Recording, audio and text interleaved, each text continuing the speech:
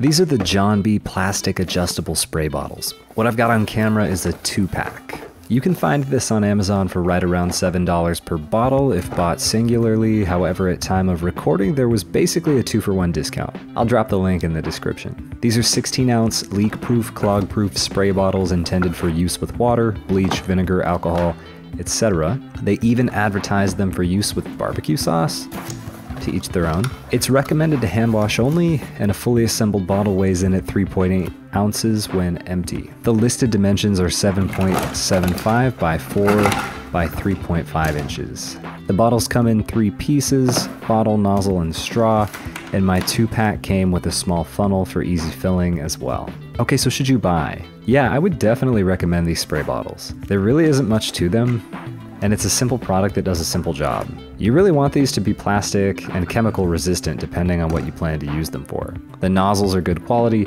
and the difference between the stream spray and lock settings is well defined. Each of the modes work well. The material is extremely lightweight and will totally be dominated by the weight of whatever water or liquid you choose to fill it with. In my experience so far, the nozzle cap screw-on seal is watertight and working well. As you can see in the video, the stream mode has pretty good range, I would say 6 feet or so before any fall off. Some people like to use these for blasting insects, so having a good range is nice. The straw is long enough to reach the very bottom of the bottle, so you should be able to use essentially the entire contents before refilling.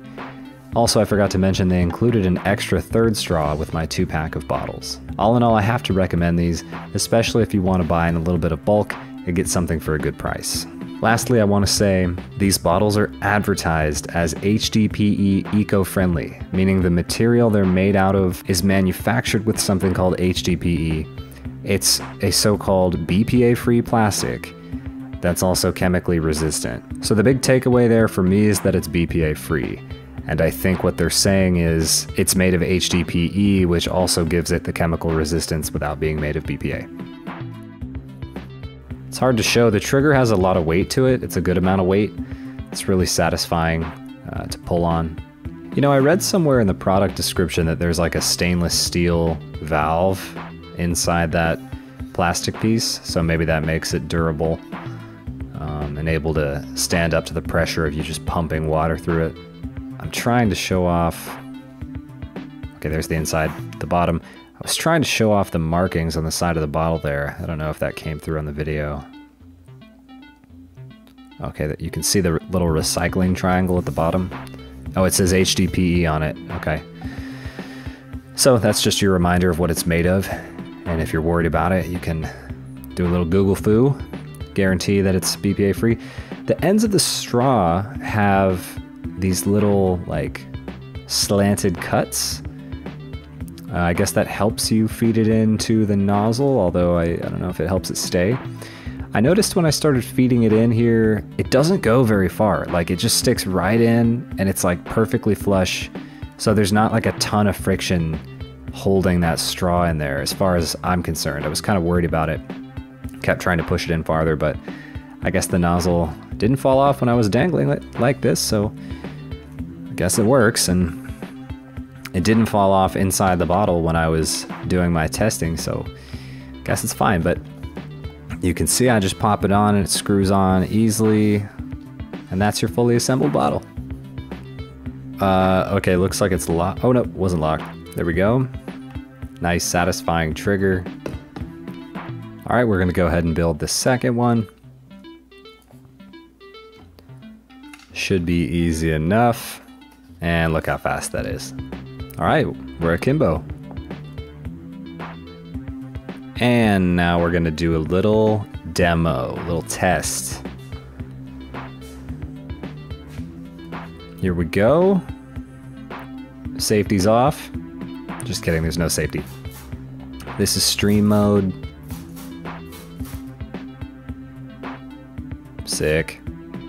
trying to show from the side just the range and the velocity. It's really nice. I was kind of surprised for how cheap the bottle was. So I really believe that there, I would believe that there's a steel valve in there. Just showing that if I pull the trigger slowly, barely comes out, you gotta put a little force on the trigger, pull it fast. Let's back up a little bit. I'm trying to show the range from the sink. I've gotta be standing like six feet from the sink right now, and it's still just blasting the back wall.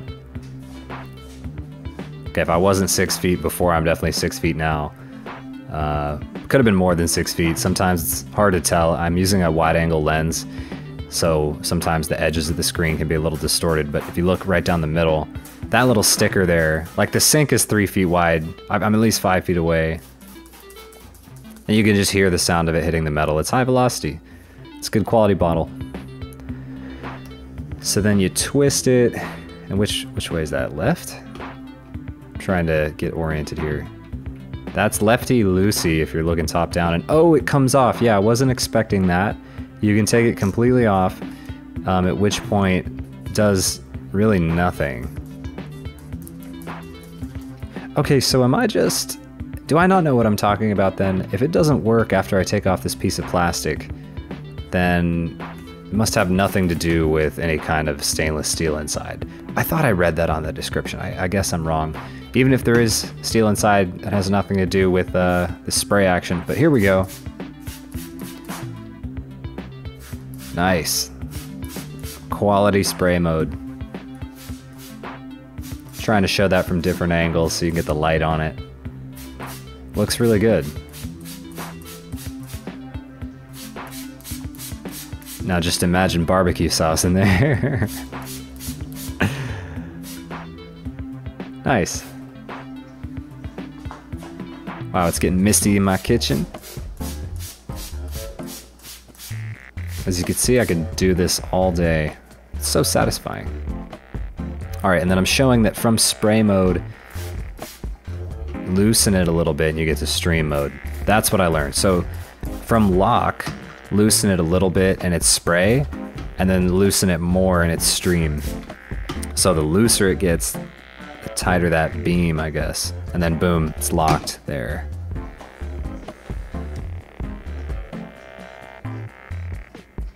Trying to get some good angles here. Apologies for the sound of my dishwasher in the background. That's all there is to say. I'm satisfied with my purchase and I would recommend. I dropped the Amazon link below if you're interested. Like and comment with any questions, I'm more than happy to help and I'm sure I missed something. Please let me know if I can improve these videos in any way. If you'd like to support the channel, you should of course subscribe. We're trying to get to 1,000. But if you'd like to go above and beyond, you can buy me a coffee using the link in the description. I appreciate every one of you, Thanks for watching and have a fantastic day.